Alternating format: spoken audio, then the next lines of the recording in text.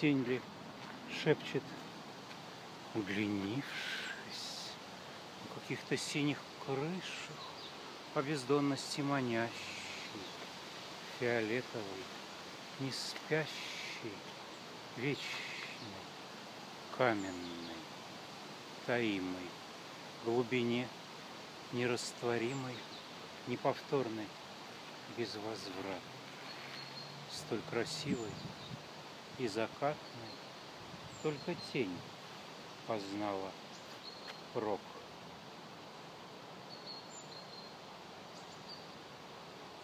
Для чего уносит ток, сон и явь, и все, что мнимо, тень моя неповторима.